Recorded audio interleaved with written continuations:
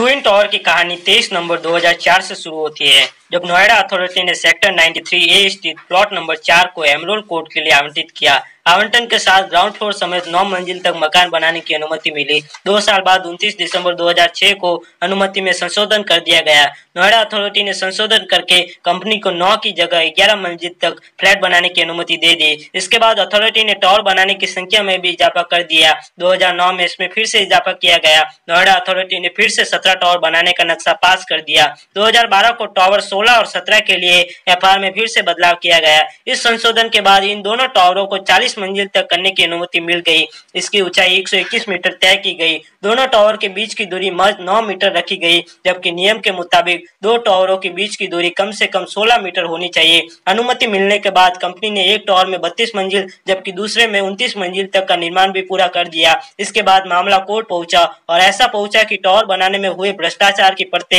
एक के बाद एक खुलती गई। ऐसे खुली की आज इस टॉवर को मिट्टी में मिलाने की नौबत आ गई है।